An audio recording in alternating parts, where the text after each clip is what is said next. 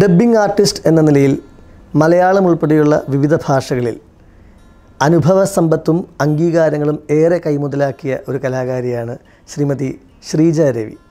ശ്രീജ ചേച്ചിയാണ് ഇന്ന് നമ്മോടൊപ്പം അതിഥിയായുള്ളത്.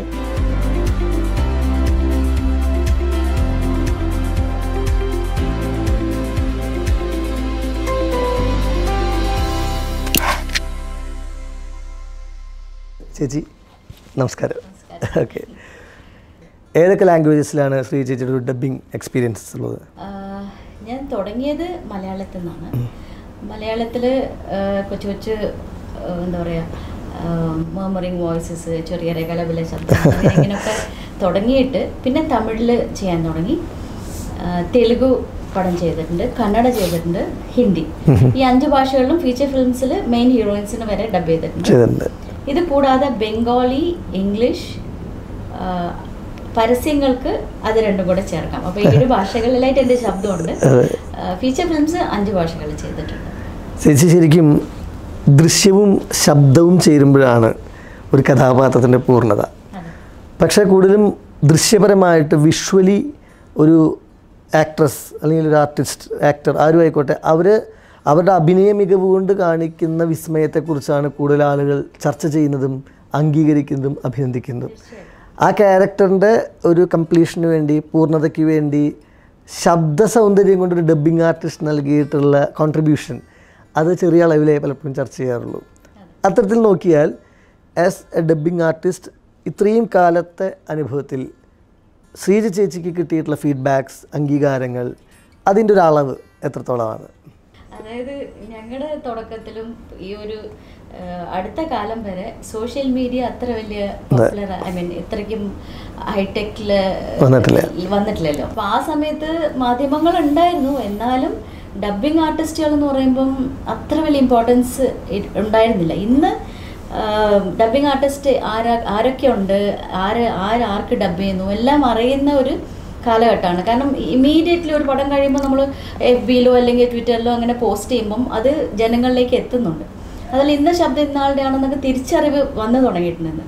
അന്ന് അതൊന്നുമില്ല. ഏതെങ്കിലും ഒരു പത്രക്കാരെ നമ്മളെ വിളിച്ചൊരു ഇന്റർവ്യൂ ചോദിക്കുമോ തരുമോ എന്നുള്ള ഒരു ഒരു നിലപാടായിരുന്നു അന്ന്. അതല്ലാതെ പിന്നെ അംഗീകാരം ഒരു ഒരു അവാർഡിന്റെ നിലയിലാണെങ്കിൽ പോലും തുടക്കത്തിൽ ഡബ്ബിങ്ങിന് ഡബ്ബിംഗ് ആർട്ടിസ്റ്റുകൾക്ക് അവാർഡ് ഇല്ലായിരുന്നു. പിന്നീട് അത് ഒരുപാട് ഫൈറ്റ് ചെയ്ത് അങ്ങനെയൊക്കെ ആയി അംഗീകരിച്ച് തുടങ്ങിയപ്പോൾ ആദ്യത്തെ അവാർഡ് തന്നെ ആദ്യത്തെ അവാർഡല്ല ആ ആണുങ്ങൾക്കില്ല പെണ്ണുങ്ങൾക്കുണ്ട്. അങ്ങനെയൊക്കെയായിരുന്നു. ഒരു അവാർഡ് മാത്രം. പിന്നെ കുറച്ച് കഴിഞ്ഞപ്പോൾ ഒരു അവാർഡ് എനിക്കും കൃഷ്ണാന്തരനും കൃഷ്ണചന്ദ്രനും നയന്റി സെവനിൽ അനിയത്തി പ്രാവിന് കിട്ടിയപ്പോൾ ഞങ്ങൾക്ക് ഷെയർ ആയിരുന്നു അത്. മെയിലിനും ഫീമെയിലിനും അവാർഡുണ്ട് പക്ഷേ അത് ഒരു ഷെയർ ആയിട്ടുള്ള ഒരു അവാർഡായിരുന്നു പിന്നെ അത് കഴിഞ്ഞ് ഈ പറഞ്ഞ പോലെ മെയിലിനുണ്ടെങ്കിൽ ഫീമെയിലിനില്ല ഫീമെയിലിനുണ്ടെങ്കിൽ മെയിലിനില്ല ഇങ്ങനെയൊക്കെ ഒരു ഒരു കാലഘട്ടമായിരുന്നു. പിന്നീട് ഒരു ഒരു ഒരു കാലഘട്ടത്തിൽ ഒട്ടുമില്ല. ഡബിങ് ആർട്ടിസ്റ്റുകളാണ് ആർട്ടിസ്റ്റുകൾ ചെയ്തിരിക്കുന്നതെന്ന് ഞങ്ങൾ അറിഞ്ഞില്ല എന്ന് പറഞ്ഞ് ജൂറി ജൂറി വരെ ഉണ്ടായിരുന്നു. അപ്പോൾ അങ്ങനെയൊക്കെ അംഗീകാരം എന്ന് പറയുന്നത് നമ്മുടെ ഒരു കാറ്റഗറിക്ക് ഡബിങ് ആർട്ടിസ്റ്റ് എന്ന കാറ്റഗറിക്ക് ഇപ്പോഴും നമ്മൾ കയ്യേന്തി നിൽക്കുന്ന ഒരു പൊസിഷനാണ് ഓക്കെ ഇവരിത് ചെയ്തു. ഇവർക്ക് ഇവർക്ക് ദേ ഡിസേർവ് ദാറ്റ് എന്നുള്ള രീതിയിൽ ഒരു അംഗീകാരം ഇപ്പോഴും കിട്ടിയതായിട്ട് എനിക്ക് തോന്നുന്നില്ല. അംഗീകാരം കിട്ടേണ്ടതുണ്ട് എന്ന് ഞാൻ എടുത്തു പറയുന്നതിന്റെ ഒരു കാരണം മൂല്യം കൊണ്ടാണ്. അതായത് ഒരു ഡബ്ബിംഗ് ആർട്ടിസ്റ്റ് ചേച്ചി ഉൾപ്പെടെയുള്ളവർ കലാപരമായിട്ട് ശബ്ദം കൊണ്ട് ഒരു കഥാപാത്രത്തിന് നൽകിയിട്ടുള്ളൊരു സംഭാവനയാണ് ആ ക്യാരക്ടറിനെ ജനപ്രിയമാക്കുന്നതിൽ പ്രധാന കാരണമെന്നിരിക്കെ ആ മേഖലയിലേക്ക് ഇതിന് ശബ്ദം നൽകിയത് ആര്? അയാളുടെ മുഖം അയാളുടെ രൂപം എന്താണ്? അയാൾ ഇന്നയാളാണെന്നൊരു തിരിച്ചറിവ് മാധ്യമങ്ങളിലൂടെയോ അല്ലെങ്കിൽ സിനിമയുടെ മറ്റ് മേഖലകളിലൂടെയോ വലിയ രീതിയിൽ സംഭവിക്കാത്തിടത്താണ് ഒരു പക്ഷേ ഇത്തരത്തിലുള്ള അഭിമുഖങ്ങളുടെ പ്രസക്തി. ഇപ്പം ഞാൻ ഉദാഹരണം പറയുകയാണെങ്കിൽ പ്രേക്ഷകർക്ക് ഇപ്പോൾ ഞാനൊരു പക്ഷേ പറയുമ്പോഴായിരിക്കും കുറേ പേർക്ക് അറിയാം എന്നാലും അറിയാത്ത കുറേ പേർ തിരിച്ചറിയുന്നത് ഇത്രയധികം ഹൃദയത്തോട് നെഞ്ചിലേറ്റിയ ബാഹുബലിയിലെ ദേവസേനയ്ക്ക് മലയാളത്തിൽ സ്വരം പേർന്നത് എന്റെ മുമ്പിലിരിക്കുന്ന ശ്രീ ചേച്ചിയാണ്. പിന്നെ അങ്ങനെ നോക്കുകയാണെങ്കിൽ ഇപ്പോൾ വൈശാലി സുപർണയുടെ കഥാപാത്രം ചേച്ചിയാണ്.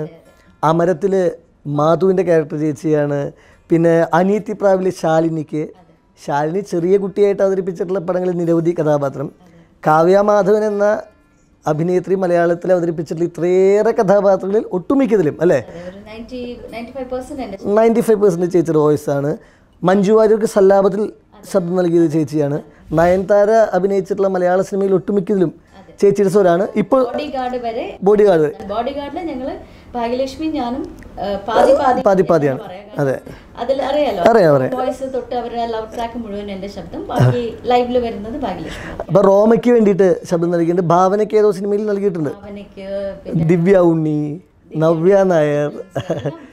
ഒരുപാട് ഒരുപാട് നായികമാരുടെ ആദ്യത്തെ പടങ്ങൾ അധികവും ഞാനായിരിക്കും.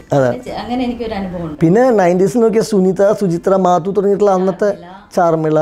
ഇത് ഇത് ഞാൻ എടുത്ത് ഇത്രയും ഡീറ്റെയിൽ ആയിട്ട് പറയാൻ കാരണം പ്രേക്ഷകർക്ക് പരിചിതമാണ് ഈ ക്യാരക്ടേഴ്സൊക്കെ അവർക്ക് ഓർമ്മയുണ്ട് ആ ശബ്ദമൊക്കെ. പക്ഷെ ശബ്ദം നൽകിയ ആൾ ഇന്നാണെന്ന് അറിയുന്നിടത്താണല്ലോ അതിന്റെ ഒരു വലിപ്പം. For more filmy news and entertainment news subscribe to celluloid Online.